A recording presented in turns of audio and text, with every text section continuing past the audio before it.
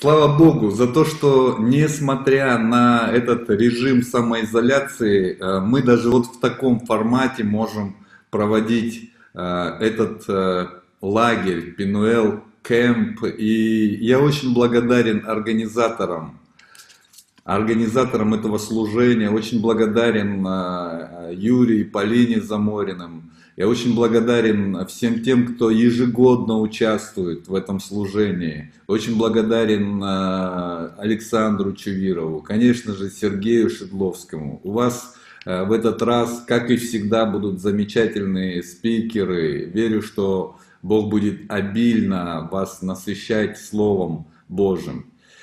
И сегодня мне вот такая вот тоже честь выпала поделиться с вами Словом Верю, что это принесет вам а, обогащение.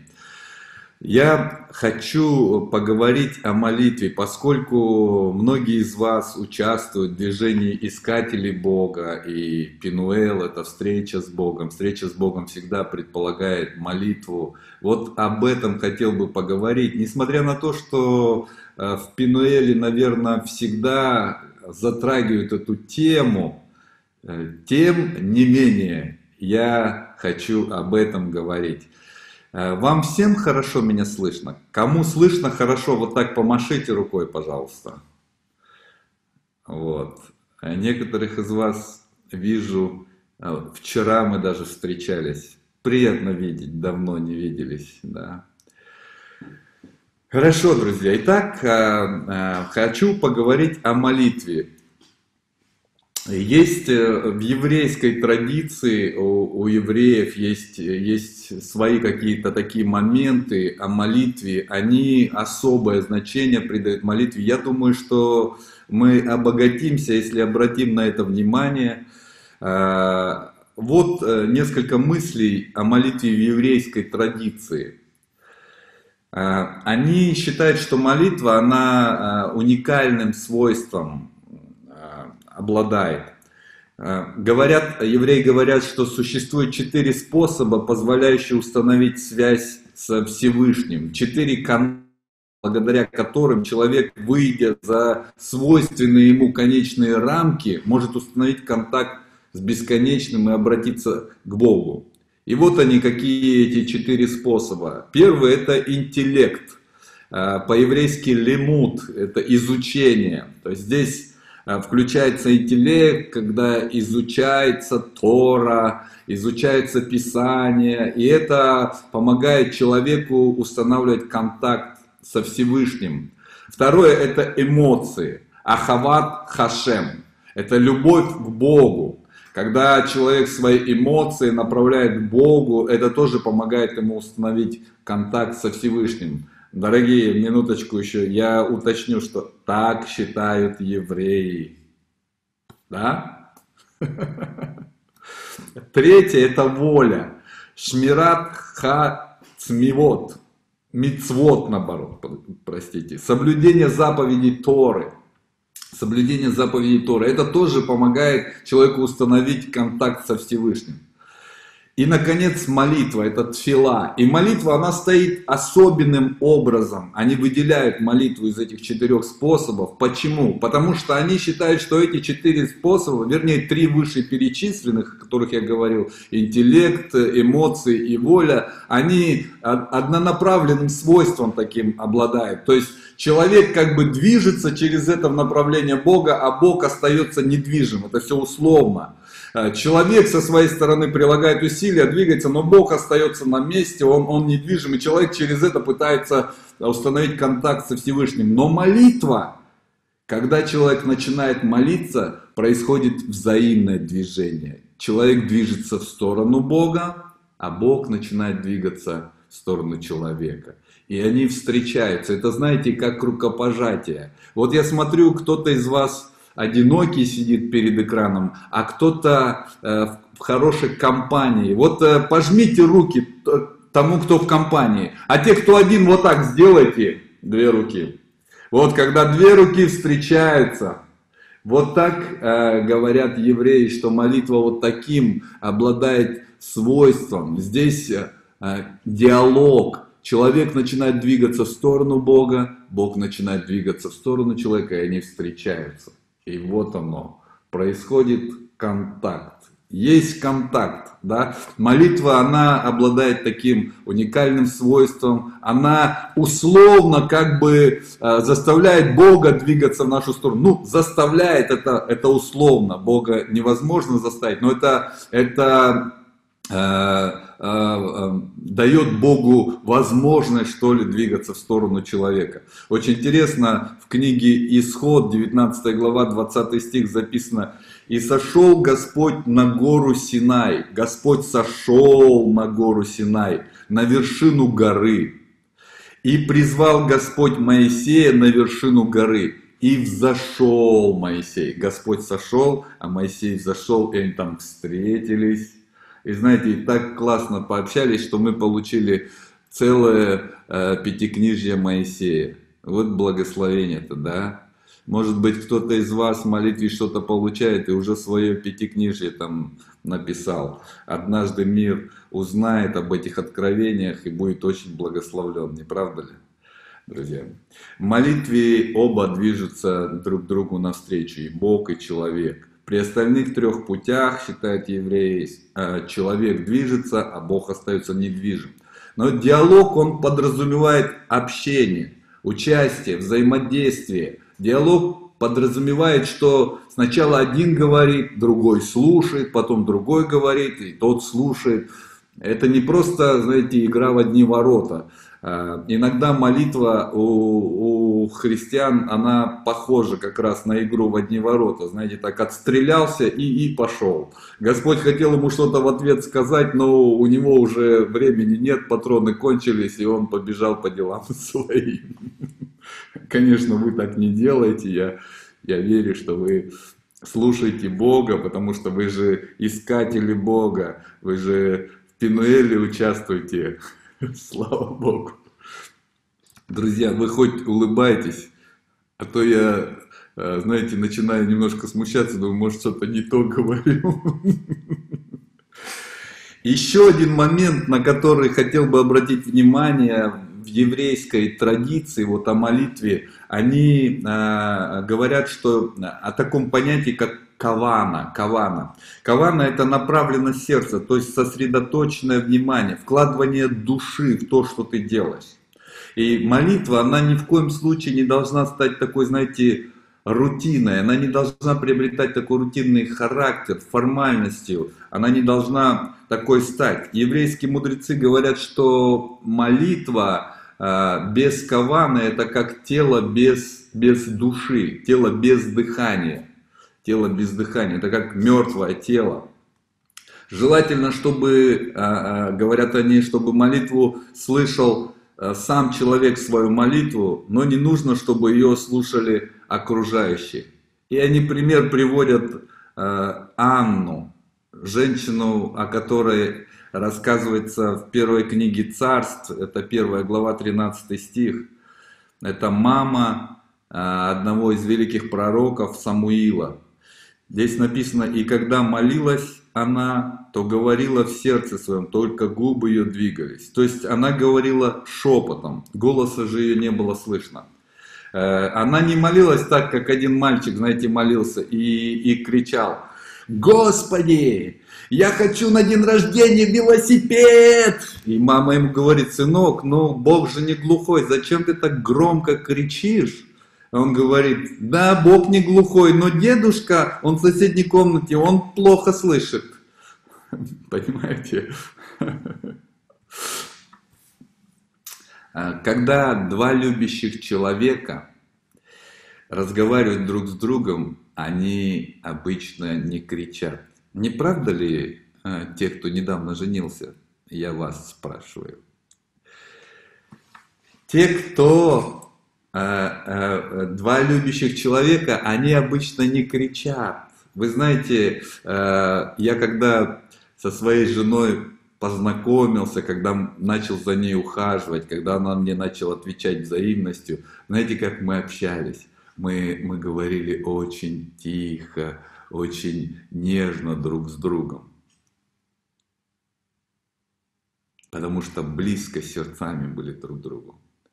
А когда люди поссорятся, близкие люди поссорятся, они орут друг на друга. Вы замечали такое? Ну, вы, конечно, так не делаете, но вот вы замечали, когда люди близкие ссорятся, они орут друг на друга, они прям в лицо орут друг другу. А-а-а! И знаете, хочется сказать, что ты орешь? Я же вот рядом. Я же рядом, что ты орешь-то? Но люди орут друг на друга, потому что сердца их в этот момент находятся друг от друга далеко. Когда мы молимся, наше сердце и сердце Божие, они становятся очень близко. И не всегда нужно орать Богу. Конечно, иногда мы прорываемся в своей молитве, прорываемся, потому что мы, мы чувствуем, как будто нет присутствия Божьего в нашей жизни. Но это же не постоянно. Если вы постоянно не чувствуете Божьего присутствия в вашей жизни, друзья, ну надо что-то с этим делать. Что-то не то в этом. Потому что Бог сказал, если я с вами во все дни до скончания века. Да? Как у вас нормально все? И если мы каждый день не чувствуем Божьего присутствия в своей жизни, ну что-то здесь не то. Нужно с этим что-то делать.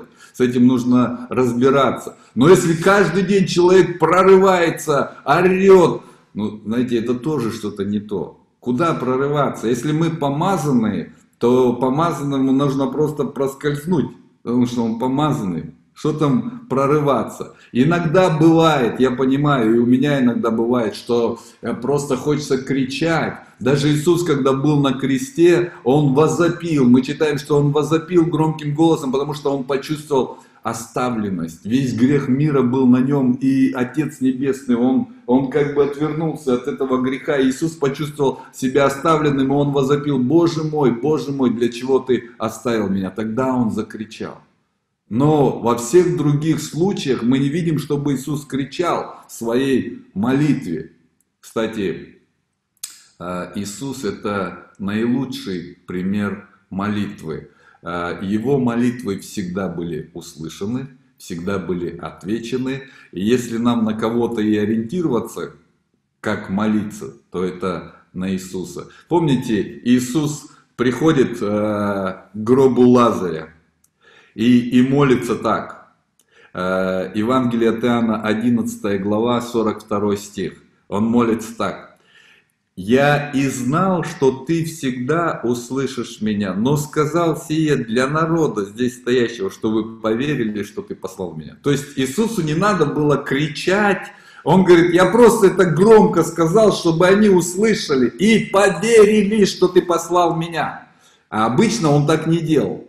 Обычно он так не делал. Обычно он уходил куда-то э, на гору, в тайное место и и молился там потихоньку, где его никто не слышал. Конечно, когда мы собираемся вместе, и если мы, знаете, вот стоим вместе, раскачиваемся из стороны в сторону и что-то там вот про себя шепчем, ну как-то это не то. Когда мы вместе, ну нужно, конечно, вслух помолиться, но, но когда один, то можно с Богом поближе поговорить от сердца к сердцу. Э, я процитировал вот этот текст, что Иисус молится и говорит, «Отче, я, я знал, что Ты всегда услышишь меня, что Ты всегда услышишь меня». О чем это может нам с вами говорить? А то же самое, что Бог всегда услышит нашу молитву. Всегда. Как только мы поворачиваем свое сердце к Нему и начинаем молиться, Он всегда услышит нашу молитву. И вы же знаете, друзья, что э, слово «всегда» с греческого э, на русский какое значение имеет? Слово э, с греческого на русский слово «всегда» переводится «всегда». В любых обстоятельствах, в любое время Бог всегда слышит нас. Всегда слышит нас. Можете сказать на это аминь? Слава Богу. Э, Еще чему мы можем научиться у Иисуса о молитве? Э, Иисус, Он всегда молился, чтобы увидеть, что творит Отец и услышать, что говорит Отец. Э, послушайте, чтобы увидеть, что творит Отец и услышать, что говорит Отец. Э, в Евангелии от Иоанна 5 глава 19-20 стих.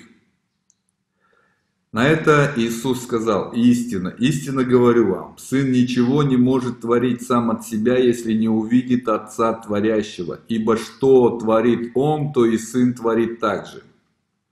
Ибо Отец любит Сына и показывает Ему все, что творит Сам, и покажет Ему дела больше всех, так что вы удивитесь. А для чего Иисус молился? Он молился для того, чтобы увидеть, что творит Отец, и потом это просто воспроизводить. То есть он в молитве не просто э, выходил и список своих нужд передавал, знаете, у некоторых список нужд такой, что вот так вот список, и он как ковровая дорожка расстилается, такой длинный, что пока дойдешь до конца, столько времени пройдет. Очень длинный список нужд. Но Иисус молился не для того, чтобы э, свои нужды передать Отцу Небесному, а чтобы увидеть, что творит Отец, и услышать, что говорит Отец, и потом это воспроизвести. Цель молитвы не столько в том, чтобы получить желаемое, а скорее в том, чтобы соединиться с Богом в своей молитве. Соединиться с Богом и увидеть вашу ситуацию – или, или человека, за которого вы молитесь, или проблему, о которой вы переживаете, увидеть это глазами Божьими. Когда мы начинаем видеть глазами Божьими, что-то начинает с нами происходить. Знаете что? Мир наполняет наше сердце. Однажды я молился о, об одном человеке. В нашей жизни бывают люди неудобные, не правда ли? Вот в моей жизни тоже есть люди неудобные. Но это мне так кажется, что они неудобные. И знаете, что вот иногда хочется, чтобы неудобные люди, они были в другом месте, не рядом с тобой, да? Бывает такое? А, у вас не бывает, все понятно. Ну, у меня только. Вот. И я, значит, молился, молился и, и, и говорил, Господи, ну вот мне так трудно. И, и знаете, э, часто хочется себя вот такой жертвой представить. Но не надо себе жертвы представлять, потому что наша жертва это Иисус. Он уже себя принес, и поэтому больше жертв не надо. Но вот я молился и говорил, Господи, вот мне тяжело, я вот этого человека не понимаю, Господи, ну сделай что-нибудь, э, ну, мол, типа как-нибудь э, убери его, что ли. Хорошо, хоть киллера не начал нанимать. И вдруг я услышал в своем сердце, а ты знаешь, как я люблю этого человека? Ты знаешь, как я люблю его детей, его жену? Ты знаешь, как он мне дорог? И вы знаете, в одну секунду что-то произошло со мной. А, сокрушение такое наполнило мое сердце – я начал плакать и говорить, Господи, прости меня. Что же произошло? А произошло вот что. В молитве э, произошло соединение моего сердца с сердцем Божьим. И Бог дал мне увидеть этого человека так, как Он его видит, с его Божьими глазами. И вы знаете, сразу произошла перемена в моем сердце. Это удивительно. Это удивительно, друзья. В нашей жизни бывают обстоятельства, которые просто нас давят, душат. Бывают проблемы, которые мы быстро хотим разрешить, но у нас никак не получается. Мы ищем помощи. Бывают трудности во взаимоотношениях. Мы не знаем, что сделать, как сделать. Мы хотим часто убежать. Но когда мы соединяемся в молитве с сердцем Божьим, и, и настроены на Божью волну и говорим, Господи, помоги мне увидеть так, как видишь Ты. Помоги мне услышать, что Ты об этом думаешь. Скажи мне, что Ты об этом думаешь. Происходит перемена. Она начинается вначале внутри нас, а потом это все проявляется во внешних обстоятельствах, во внешнем физическом мире, так скажем. И, и поэтому Иоанн пишет своему ученику Гаю, говорит, хочу, чтобы ты здравствовал и преуспевал во всем, как преуспевает душа твоя. То есть вначале нечто происходит внутри меня, а потом это все отражается на моей внешней жизни. Поэтому молитва это такое замечательное средство, это такая уникальная возможность, такой способ соединиться с сердцем Божьим. Вот э, я считаю, что вот в этом а, прежде всего главная цель и назначение молитвы. Не просто какие-то нужды свои там восполнить, не просто какие-то ответы получить, но соединиться с сердцем Божьим. Друзья, я просто вас вдохновляю. Вот после этой проповеди, когда вы услышали эту, эту мысль, всякий раз, когда будете молиться, а, именно настраивайтесь на то, чтобы соединиться с сердцем Божьим. И молитва для вас приобретет еще большую ценность и знаете что? Э, не всегда нужно 5 или, или 10 часов. У нас, конечно, Сергей Шедловский это уникальный человек. Еще может быть, лет 15 назад или больше даже, когда он э, начинал делиться своими откровениями, как он общается с Богом, это э, было заразительно. Многие, знаете, вот пытались так, я тоже как-то э, включился в процесс, начал вставать в 4 утра, вот, и, и с Господом. Но, к сожалению, бензин очень быстро кончился, вы знаете, потом такое вот разочарование, час ты помолился, два, а потом просто не знаешь, не знаешь о чем, и бензин кончается. Есть люди уникальные, но а, молитва это не всегда часовые такие затянутые диалоги. Я читаю в Писании, что иногда это даже в мыслях, человек в мыслях обратился к Богу. Вы помните, когда Неемия, он перед царем предстал, и, и царь говорит, не понял, а что у тебя лицо такое грустное? И Неемия написано, что он помолился Богу. Как он помолился Богу? Э, как, как вы думаете, молился Неемия? Он сказал, сейчас, царь, подожди. Бухнулся на колени и начал взывать, о, Господь! Я думаю, нет. Он, он быстро, знаете, такую мессендж, такой, телеграмму такую в своем разуме послал. Господи, помоги, меня царь спрашивает, я не знаю даже, что, что ему отвечать очень такое быстрое сообщение, мгновенное сообщение. Поделился с Господом, и Господь тут же ему ответил. А, друзья мои, молитва, она определяется не а, количеством проведенного времени в тайной комнате. Это, конечно, хорошо.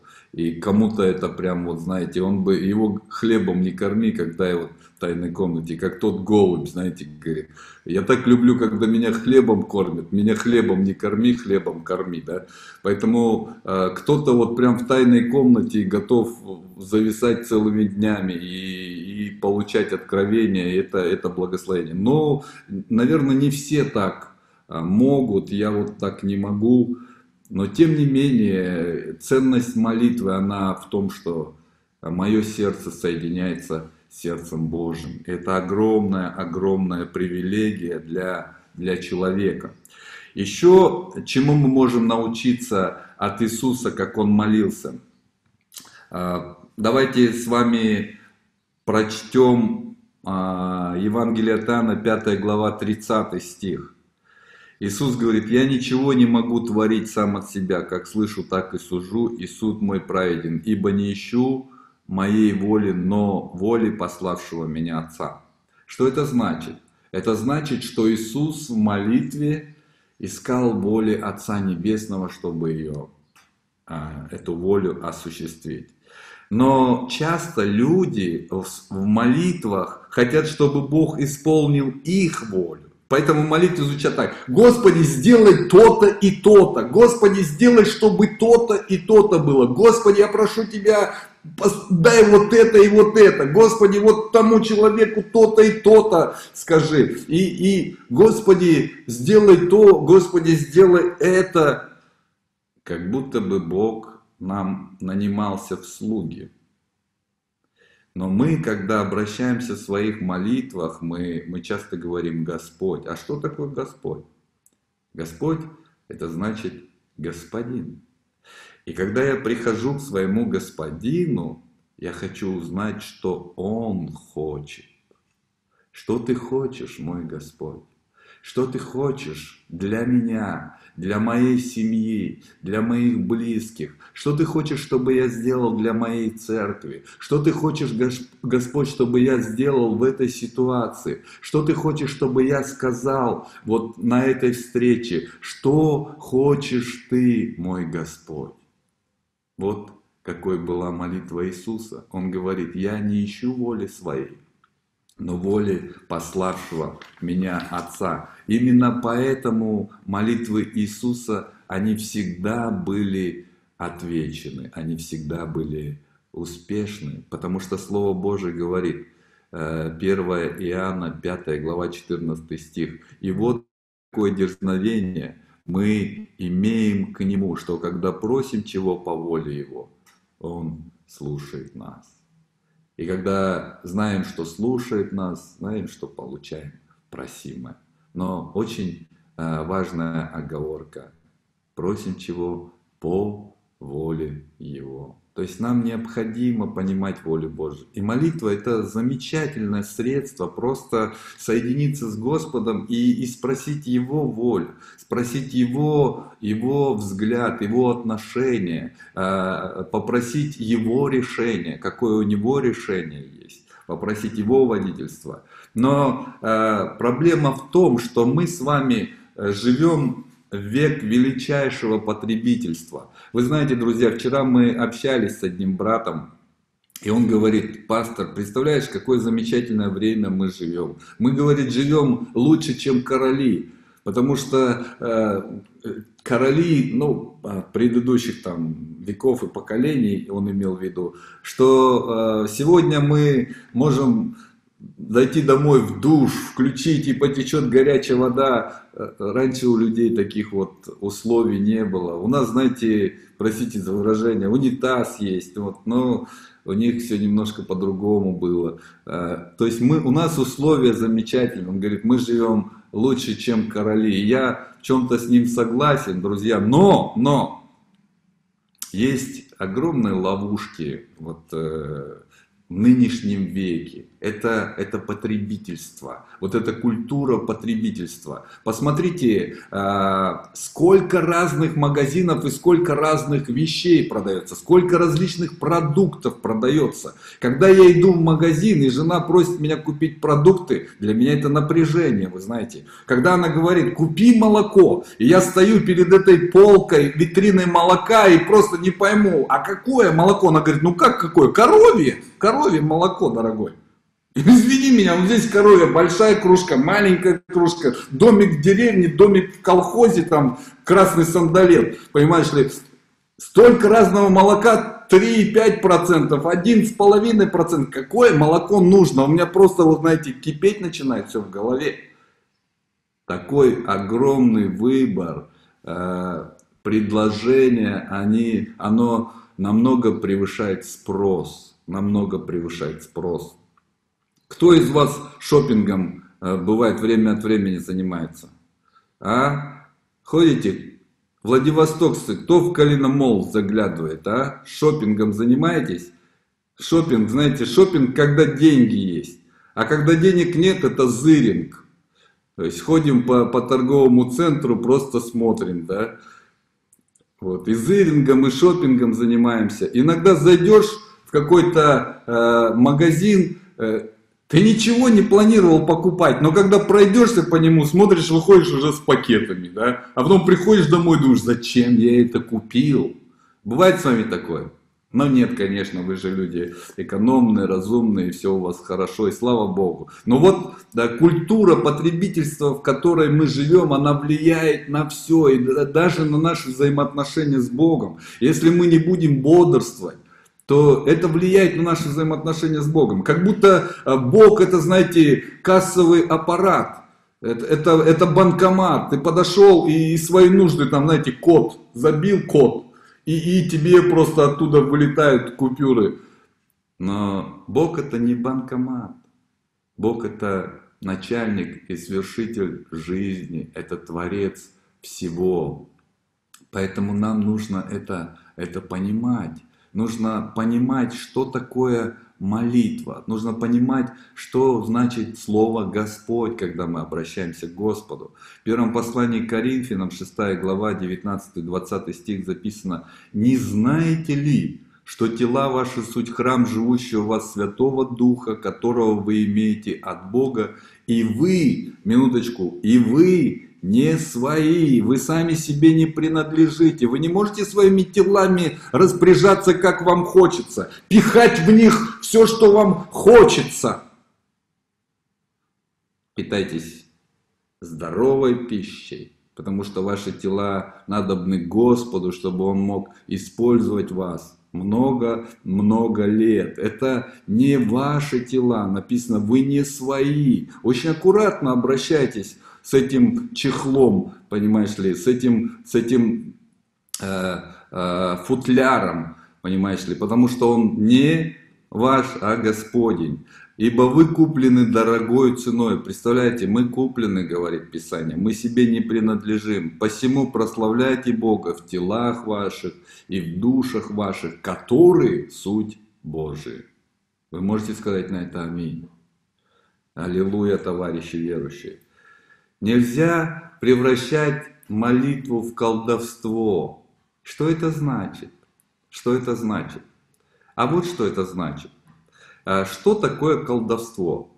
Вот просто грубо говоря, грубо говоря, что такое колдовство? Колдовство это вот что такое. Есть колдун или колдунья, которые взаимодействуют с потусторонней силой, для того, чтобы повлиять на какую-то ситуацию или на человека.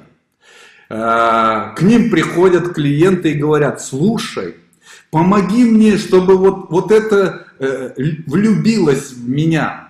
И просто, чтобы просто вот без ума было от меня. А колдун говорит, ну ты принеси хотя бы там от нее, отщепни, волосок там отрежь или что-то, ну что-то, мне надо с чем-то взаимодействовать.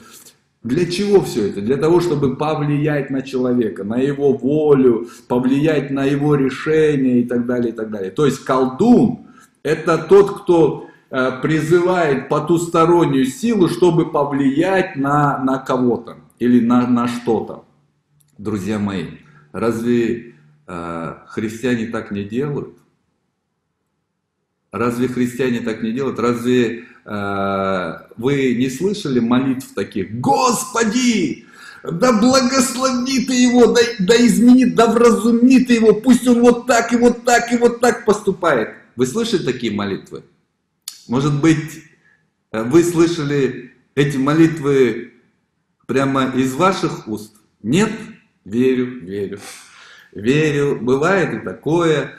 А, я слышал такие молитвы и сам молился так, пока не понял, что это похоже на колдовство. Я пытаюсь а, Бога привлечь, чтобы повлиять на какого-то человека. Вы знаете, друзья, а Бог, Он с колдовством ничего общего не имеет. Бог не хочет влиять на волю человека, исходя из моих каких-то желаний и намерений. Бог, Он учитывает волю человека. Бог э, уважает волю человека. И Бог не будет по чьему-то заказу влиять на волю человека.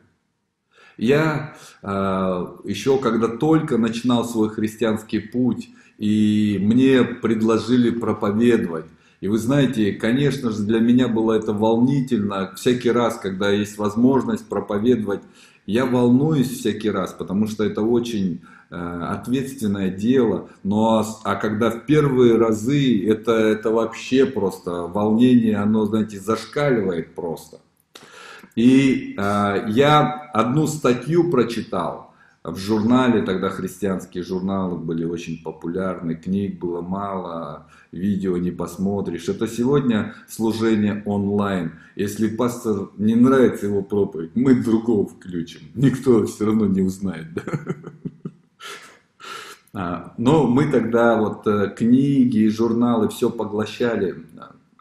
Со страшной силой. И в одном журнале я прочитал статью, такую статью, кстати, организаторы, у нас еще сколько времени-то? А? Мне нужно... Все, да, время уже заканчивается. Так, Екатерина, вы организатор, время заканчивается, да? Друзья, я, я уже заканчиваю. Хорошо.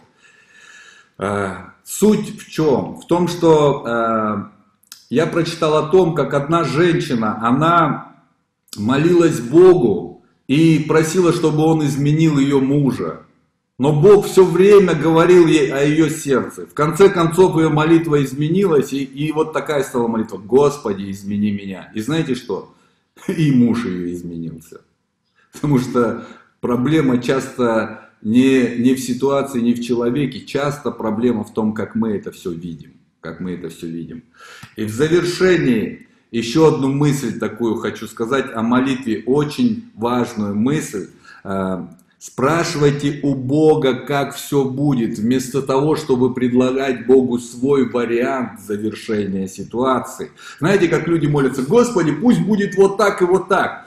Но может быть стоит спросить у Бога, как все будет, чтобы приготовиться, потому что у Него наверняка есть лучший вариант, нежели ваш. У Него наверняка есть лучший вариант. И я вам приведу пример.